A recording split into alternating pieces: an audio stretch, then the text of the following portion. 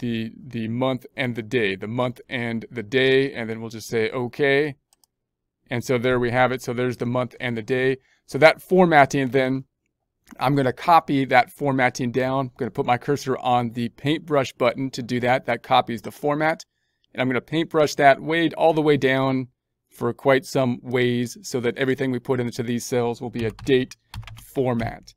So there we have that. And then I'm going to make this one a little bit smaller. I don't need it to be this wide because now I got a small date there. The date shouldn't take up much room. So let's make it around that size. And then the accounts, we'll have to probably adjust this one depending on how long the accounts are, but we'll keep it where it's at.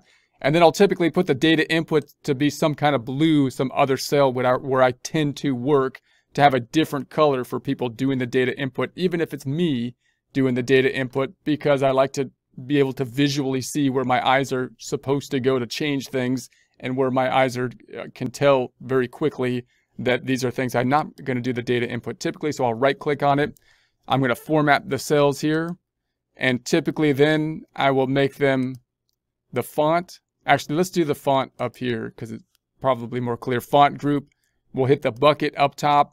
And then I'm going to make it this blue. If that blue isn't available to you, then go to this more colors and you can make it any color you want. I mean, but we're going to go to the standard colors here and it's on white and I'm going to make it this blue because the Excel is fun guy used to use that color and now that's what I use. So that's what I do. So I'm going to say, okay, there it is. And then we're going to go to the font item here, drop down on the font item, and then we're going to go to the all borders. So we'll put the borders around it. So there we have our data input.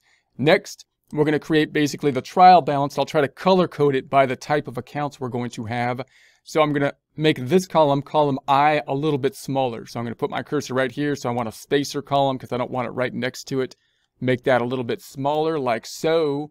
And then I'm going to have here something like the accounts that are going to be listed in the trial balance. Then I got the beginning trial balance, the entries, and the ending trial balance. So I'm going to make these accounts a little bit larger now, the beginning, if I say beginning trial balance, I have a problem because I could say, okay, beginning trial balance, that's really long, and I want it to fit in this column.